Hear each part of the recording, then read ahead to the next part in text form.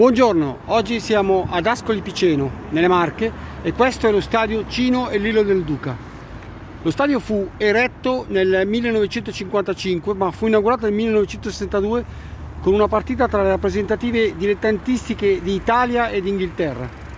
Lo stadio inizialmente aveva anche una struttura polifunzionale, quindi aveva una pista di atletica che poi fu praticamente eliminata nei lavori di ristrutturazione successiva. Nel 1974 un imprenditore edile di nome Costantino Rozzi fece dei lavori di ristrutturazione. Lo stadio inizialmente era di un anello solo, fu costruito un secondo anello, ok? E lo stadio può contenere 13.000 spettatori.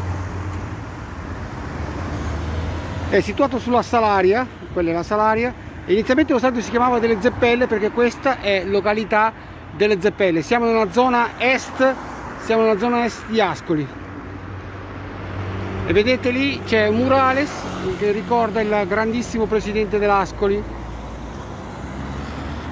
Costantino Rozzi.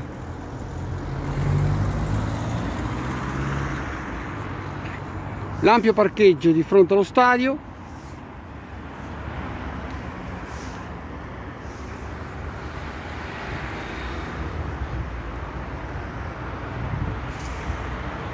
Qui nel 1980, negli anni 80, dal 1975 in poi, eh, l'Ascoli fu proposto in Serie A, Rozzi acquistò l'Ascoli e qui vennero a giocare i più grandi giocatori degli anni 80 dei nostri, dei, dei nostri club. Vi ricordo, vi ricordo, lo scontro tra i fratelli Maradona, Ugo e Diego, qui in questo stadio. La partita finì 2-1 per il Napoli.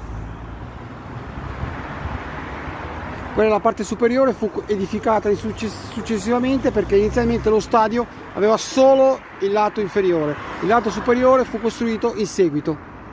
Ok? Questo è, questo è l'ingresso noi siamo dalla parte opposta della tribuna qui abbiamo le due curve.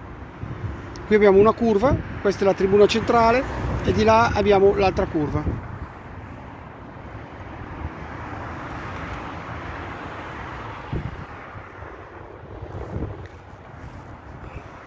Beh, il panorama intorno comunque è suggestivo, molto bello. I Monti Sibillini li possiamo vedere là in fondo.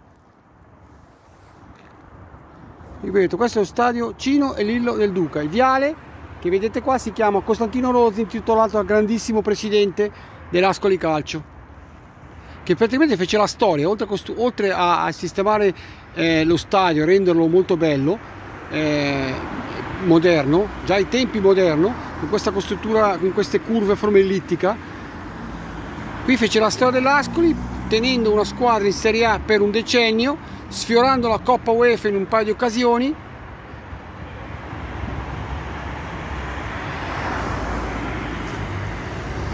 L'Ascoli, oltre a, al famoso Maradona, fratello, fratello che, col, che, col, che con Diego non c'entrava niente, qui giocarono Bredi, eh, nell'Ascoli, eh, Zayo, il primo giocatore africano della storia del calcio, Zayo Jouari. E vennero a giocare i più grandi, lo ripeto, i più grandi giocatori del calcio qui negli anni 80 venivano a giocare qua. Qui vennero a giocare eh, Rumenig, vennero a giocare Platini, vennero a giocare Maradona, Gullit, Van Basten, Falcao, ecco qua. Ciao alla prossima.